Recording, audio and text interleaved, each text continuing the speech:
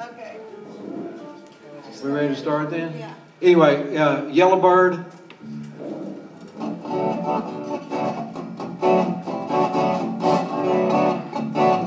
Two, three, four.